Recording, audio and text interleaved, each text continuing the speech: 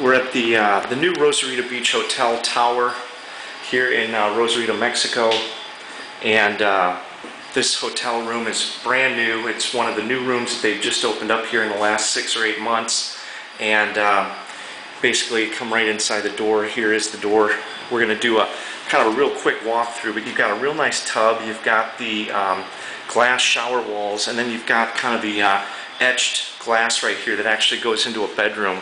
And uh, these rooms are big, they're comfortable, um, and very romantic.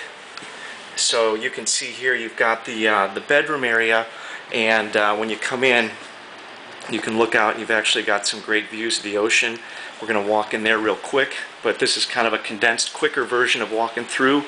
Uh, beautiful kitchen area, and uh, a nice little, there's a widescreen, uh, flat screen TV here in the living room. You can see here that we've got um, some real nice furniture, coffee table, um, real nice full-length mirror, and kind of looking back here at the uh, at the bedroom. And uh, the views out here again are absolutely amazing. So if you want more information on the Rosarito Beach Hotel, go to our SoCal Beaches magazine website. Uh, you can also book this hotel room by calling 1 800 679 7707.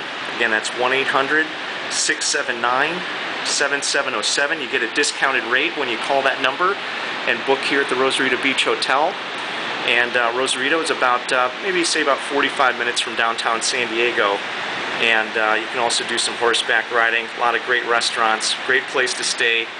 Rosarito Beach Hotel, check it out on our SoCal Beaches Magazine website.